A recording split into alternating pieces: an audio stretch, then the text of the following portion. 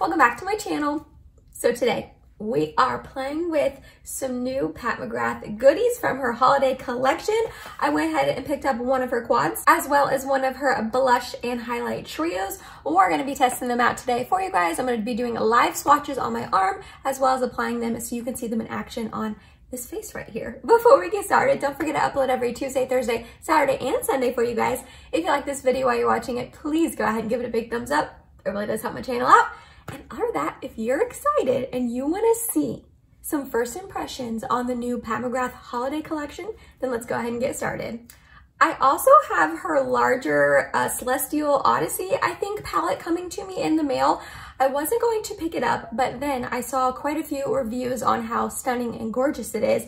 And also one of my friends on Instagram, her name is Melissa, she ended up giving me a friends and family code. So I was able to shop the friends and family Sephora sale. I didn't think I was going to be able to do so. And then she gave me a code. So I've got that coming to me along with a Makeup by Mario new lipstick, but that's not Pat McGrath. So today, what we are focusing on is the quad and the trio that I picked up. okay. I'm excited. I'm excited. But let's talk about the quad first. So first of all, first, before we talk about anything, the packaging on this is absolutely beautiful. I am not someone who really gets hyped about packaging. I mean, it's cool if something looks pretty on the outside, but it really is more about the inside. But this is just absolutely stunning. Like beautiful, beautiful, beautiful. I love this. But the quad is just a normal, typical like black lacquer sort of um, packaging that it normally has. I ended up picking up the Celestial Odyssey Luxe Quad in Bronze Borealis. Borealis, I think is how you pronounce that. It says Pat McGrath Labs on the front. When you open it up, it looks like this. So I got this in the mail. I was super excited. Of the two quads, this was definitely the one that was a little bit more my color story, one that I thought I would use a little bit more. The other one had a blue that I just didn't think I would use. And this was $54. I did get 10% off off Pat's website. She had a code. So, but I mean, that's really not that much money. You know what I mean? Okay, when I first opened this, I was like, beautiful, but are these pans smaller? Are these pans smaller than her normal quads? So I have my other quad here. This is the only other quad by Pat McGrath that I own. This is her Venus and Fleurs Luxe Quad Voyeuristic Vixen. So this was one that came out a few months ago. Um, I'm not sure it was her Venus and Fleurs collection that came out with her blushes. If you can see, the pans are definitely way smaller in this quad than this one which I went back and looked on the Pat McGrath website. And if you are really looking for it, you can see in the pictures that this is smaller. And I'm sure if I would have looked at the actual amount per shadow, I would have known they were smaller, but I didn't look at that and I wasn't looking that closely at the pictures. So I'm just like a little bummed that these are a little bit smaller pans. Also, this is a very similar color story. Like, so similar. I didn't think they were going to be that similar. I thought they were going to look alike, but I feel like these are almost identical, but this one is just less fancy because this has like that like duochrome shifty one that goes from like cranberry to gold. So I, I don't know. I haven't swatched this. I haven't done anything with it, obviously. Um, but I was just, when I opened it up, I was a little disappointed. I'm not gonna lie. In the pan size and the fact that these are so close together. Was that my fault for ordering this when I already own this? Yes. But this just came out a few months ago and then this is obviously out now. So it's like, why release two eyeshadow palettes that are so similar? I don't know. Maybe, I mean, I don't know. I don't know. Anyways, also, I feel like this holiday collection packaging is just not as luxe as this one. This one just feels a little bit heavier. It just feels a little bit nicer. Even though on camera they look exactly the same, in person you can feel the weight and just the plastic, and I don't know, I just feel like this is a tiny bit less luxe. This was $58, this was $54, but I feel like for the packaging difference and the size difference of the pans, this shouldn't have been only $4 cheaper, if that makes sense. So I'm a little bummed about that, but that's okay. The trio though, I am super, super excited about. It has the matching packaging as the like outer unicorn that it comes in. So I just think that's really cool. I feel like Pat doesn't do a ton of these sort of packaging. A lot of the times it is that like plain black lacquer. But, oh, I had that upside down the whole time. No, I didn't. No, I didn't. I'm good. so when you open it up, I ended up getting the lighter one because that would definitely match my skin tone a little bit better. So this is called her Divine Blush and Glow Trio, and I got Galactic Sun. So with this, you get the shade Divine Rose, Desert Orchid, and Golden Nectar. So if you are not new here, then you know that, let me get it out, my Pat McGrath blush right here in the shade Flirtatious is one of my favorite blushes I have ever used in my life. It is just chef's kiss. Stunning, beautiful, love it so much. So when she came out with this trio and I was able to pick up two more shades of the blush formula that I love, plus a highlight, I was like, yeah, I'm going for that. I've never tried Pat McGrath highlights before, and just to get two more shades of the blushes, I was excited. I am hoping it's the same quality as her single blushes. We shall see. Let's go ahead and do swatches. All right, so I'm gonna start up here with this shade right here, and this is called Lunar Legend. Okay, so that is very beautiful. I really like that shade. It's actually a little bit more gold than I was anticipating from the pan, but it is a really, really pretty shade. Next up here, we have Sienna Rose. Okay, again, very, very beautiful. I don't think either one of these are super unique to my collection, but it is a very pretty shade. Then the only matte in the quad here is called Mink Dust. So let's swatch this. Okay, that's a very pretty shade, obviously a little crumbly, but it's a really nice, just beautiful mauvey, pinky, rosy sort of tone that is really pretty like all the other ones. And then lastly here we have Cyber Bronze. This feels really thick, but that is, that's really pretty. That is probably the most reflective of the four, or I guess three shimmers. So yeah, I, I don't know. I'm just a little bit bummed by this, but again, I think it's because it's so similar to the quad I already own, and I just don't think these are super unique to my collection, and also it's just, I, I don't know. I don't know. The pan's being smaller, so we're going to test it out on the face, on the eyes, before I judge it too, too hard. So let's, let's start applying. So I did go ahead and prime my eyes like I normally do with my MAC Paint Pot and then set it with my Charlotte Tilbury Airbrush Flawless Powder. We are going to start off with the matte right here, which again is Mink Dust, right? Mink Dusk. I'm sorry, I think I called it Mink Dust earlier, but it's dusk, like at nighttime. Okay, anyways.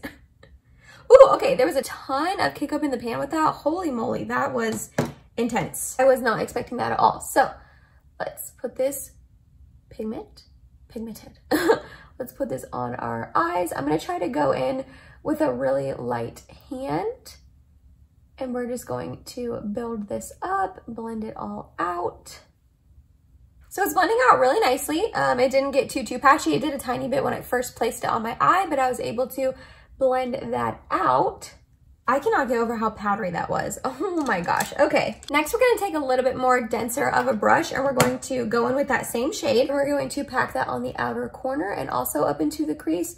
What I like about my other pat quad is that the matte in there, I can make it look like multiple shades by layering it up. If I just go in with a little tiny bit, it just diffuses it really nicely. Then if I go in and pack more on like this, it can make it look like it's two shades in the same family, but it's the same one. So um, I'm hoping I can do that here, but doesn't really seem to be looking much different.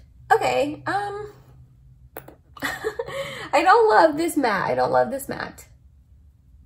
It's not looking like two different shades like the other one, which is fine. I don't usually expect matte shades to be able to do that, but because my other Pat McGrath quad is like that, I was kind of hoping that this one would be like this. But as I'm like packing this on, it's just kind of getting a little bit patchy, just a little bit, nothing terrible. It's not performing like I would anticipate it. If you can see right here, just getting like a tiny, tiny bit patchy. Okay, so next I'm gonna take my NYX glitter primer and we're going to put that all over my lid. And we're going to take this shade on the inner half and this shade on the outer half. So this one is Cyber Bronze and this one is Sienna Rose. These just feel really, really thick, like really thick shimmers. Although that is, that's pretty, that's a pretty shade. And then we're just gonna put this Sienna Rose on the outer half. I feel like this Sienna Rose shade is looking almost bronzy, even though the goldy one is the one that's called bronze. Guys, I'm a little bummed with this palette. Okay, so just so I can say that I use all four shades, I am going to go ahead and take this lighter one, which is Lunar Legend, and we're just going to tap that in the middle. And then this one is so thin and almost like, I don't know, almost like way less pigmented than the other two. Did that do anything? Do you guys see a difference? I don't think that did much. I'm gonna add a little bit more of that rose shade out here. And then we're gonna go back with the matte. So that's the eye. I don't love it. I don't love it. Um, I don't know. I just feel like I could get this eye look with a ton of other palettes. I just don't think I needed this one for $54. I mean, again, I got the 10% off, but still that's a lot of money for this eye look. Like at least with this quad, I feel like this is special in my collection. Again, this matte can look like two or three different shades depending on how you blend it out and pack it on your eye. This is super reflective and beautiful. Like I said, this one is a nice like shift from cranberry to gold and this is just a stunning shade. So this I do think is worth it in my collection and I do love it. This one, I just, I don't know. I'm just really not impressed with it so far. This eye look is nothing special. The shimmers weren't super crazy. The matte kind of got patchy and I don't love it. But we're going to, we're going to move on. I'm going to go do quite a few things off camera. I'm going to go do the other eye, my foundation, concealer, powder, bronzer, probably brows, and then we will come back and we will try out the trio. I am just insanely excited for this. Like, it's not even funny. I'm hoping I love this with my whole heart. We shall see. So I will go do all those other steps and I'll be back to keep this train rolling. Alrighty, we are going to move on now to trying out the trio this is probably the thing I'm most excited about, not going to lie. Again, this is the Divine Blush and Glow Trio, and I got Galactic Sun. There was another option that had two deeper blushes and a deeper highlight. So I love that Pat McGrath always has very good options for all sort of skin types, skin tones. I think that is lovely of her. So I'm super excited to try this out. I think I'm gonna try, well, let's do swatches first. Here is the first blush which this is the shade Divine Rose. Here to swatch on my hand right there. That is a beautiful, beautiful shade. The next one is called Desert Orchid. Oh, this looks like a really beautiful, like burnt orange shade. Yeah, that's going to be stunning on the cheeks. And then the highlight, ooh, that is creamy and very soft. this is called Golden Nectar. Oh, wow. Yeah, that's beautiful. I actually am afraid that might be a little bit dark on my skin tone. Hopefully not. Hopefully not. But um, I've never tried a Pat McGrath highlight. So let's start off with the highlight first. So we're just going to dip right in. There is quite a bit of kick up in the pan. You probably couldn't see on camera at all, but it definitely picked up like a lot on my brush. I went ahead and tapped off a little bit of the excess. So let's put this on. Ooh, that is really pretty.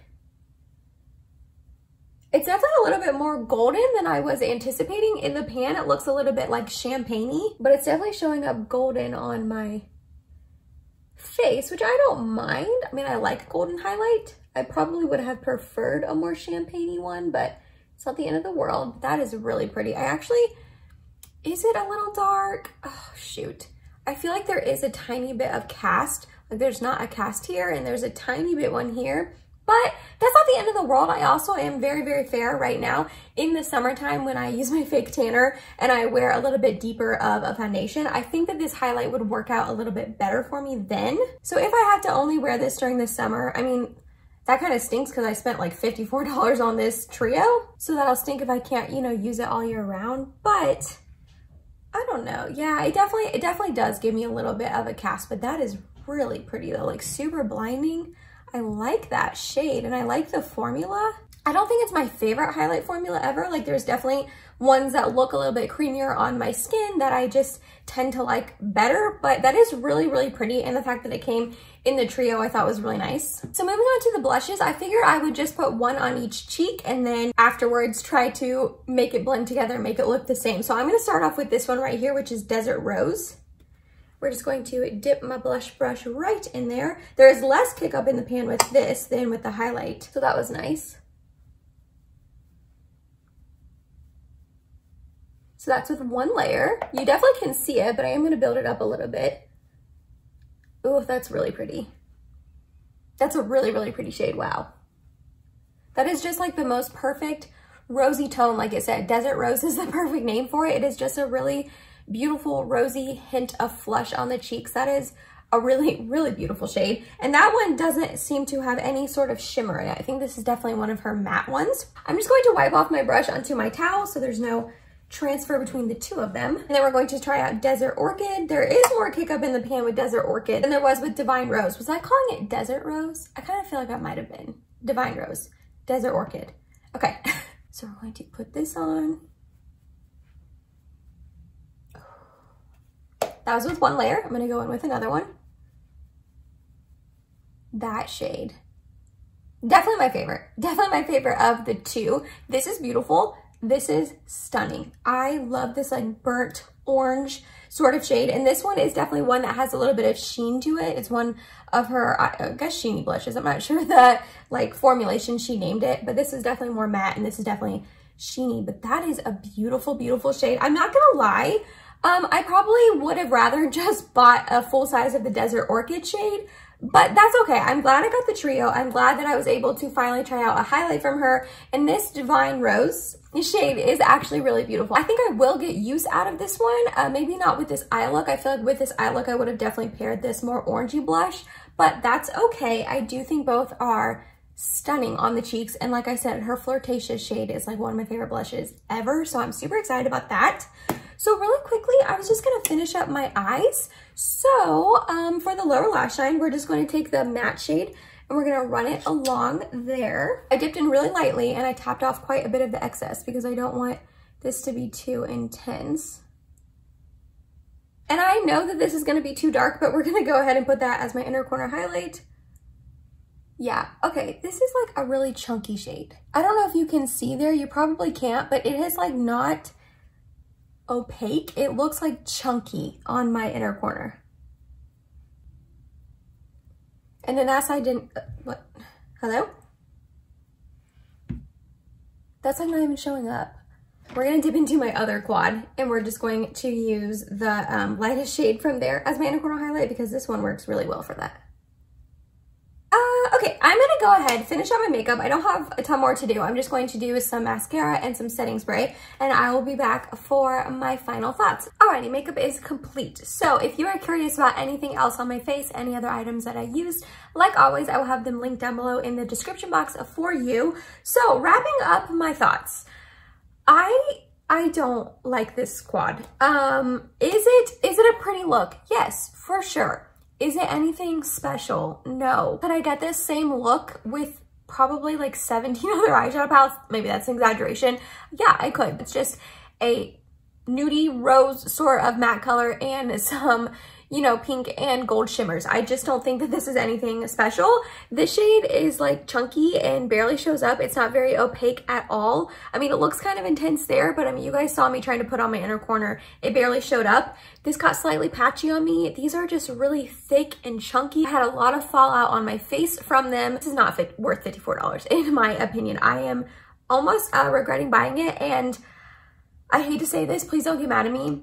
I might return it. And I really, really, really, really do not like returning makeup. I know I say that all the time, but like I, I'm not in the financial position to keep a $54 eyeshadow palette that I don't love. If I was a huge, you know, YouTuber and I was making a ton of money on YouTube and I could afford that, I would keep this and I would give it to a friend or I would do something with it. And I haven't fully decided, but I am like really really, really bummed out by this and really disappointed. So that's such a bummer. I was super excited about this. I am hoping that I like this Celestial Odyssey bigger palette way more than this one. I have a feeling I will because there's just a ton more color options and textures and shades and hopefully I like that one more. I will do a video on it whenever it comes in the mail. I don't like this. I don't recommend this at all. I don't know about the other quad. I don't know if the other quad is better or anything like that, but this one, again, this is the Bronze Borealis one. I don't recommend at all. The trio, I like. I feel like I wish I, like I said earlier, I wish I would have just gotten the single of the Desert Orchid shade, but I am glad I picked this up. I am glad that I was able to try two more blush shades and the highlight. Again, I think the highlight's slightly dark for me, but that's okay. It's not the end of the world. And these two blushes really are truly stunning. I love the Pat McGrath blush formula. If you do not want to spend the 50, I think $4 or maybe 50, I don't remember how much this was. Um, but if you do not want to spend that much, just her single blushes are 38 it's, you know, it's less money, but you're also only getting one shade versus three, but also the compact and the amount is larger. So it's kind of up to you and what you, you know, want to spend. But the packaging is absolutely stunning on this. I like how just like slim and sleek this is. I am glad that I picked this up. I think this is beautiful. And I think if you want to try the blush formula and highlight formula, this is definitely a good option for you because you get three to try out. So that was it, you guys. That was my uh, first impressions, my thoughts on the new Pat McGrath quad and trio from her holiday collection. Did you pick anything up? Let me know down below in the comments if you picked anything up from this collection. There was a couple other things. There was another quad, the bigger eyeshadow palette, um, another trio, a single highlight. I think that might have been all. And then maybe some lippies. I'm not entirely sure. So let me know down below if you picked anything up. Um, also, let me know what you think about the items I tried today. Are you just as unimpressed with the eyeshadow palette as me? Or were you like, Emily, you're crazy. That looks stunning. Like, I love this. I'm about to go buy it. Let me know. So yeah, I'm sorry this was a little bit of a bummer, a little bit of a Debbie Downer um, video. I was, I was expecting to love this quad and I just didn't, sadly. So what a bummer. That's okay though. That sometimes makeup just doesn't work out. Not the end of the world. Other than that though, if you made it to the end of this video, thank you so much. You're truly awesome and I love you. Please subscribe if you have not yet and I hope to see you in my next video. Bye guys.